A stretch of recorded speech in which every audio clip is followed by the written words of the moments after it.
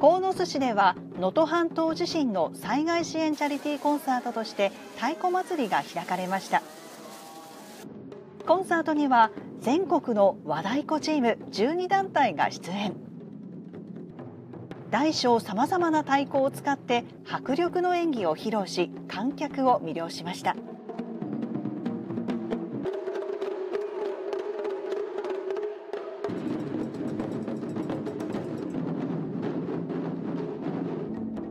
コンサートの最後を締めくくるのは能登半島地震の被災地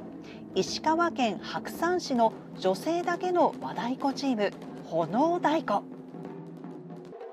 女性ならではのしなやかな表現と北陸特有の伝統あるリズムを会場に響かせました。